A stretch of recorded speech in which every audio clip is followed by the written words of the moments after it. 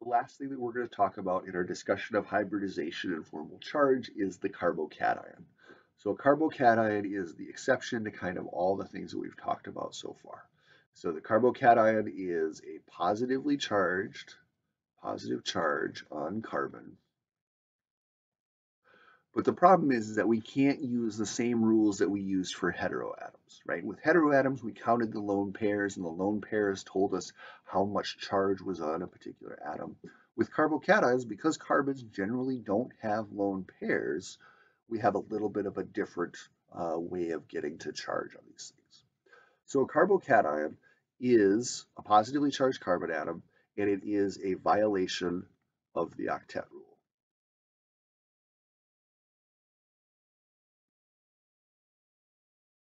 It only has six electrons surrounding the carbon. And so this is, of course, incredibly unstable. and reactive.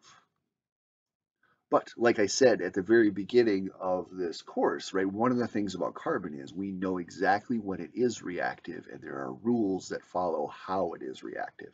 And so this is one of those things. We have this exception to our rule, but carbocations only show up in very specific cases. And so if we know that we are creating a carbocation, we can predict what type of reactivity we're going to see with it. So what does a carbocation look like? Well, it only has six electrons surrounding it. So this is usually going to be a carbon with three sigma bonds surrounding it that has a positive charge. Three sigma bonds, no lone pairs, right? A positive formal charge because it doesn't have enough electrons.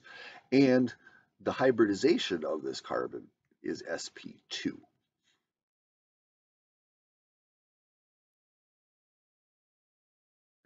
Because it has only three sigma bonds, the positive charge actually represents an empty orbital. Positive represents an empty orbital.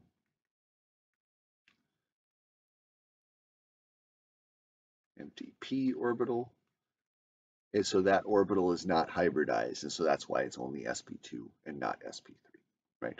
So a carbocation is always sp2 hybridized, it's positively charged, it has no lone pairs and three sigma bonds, right?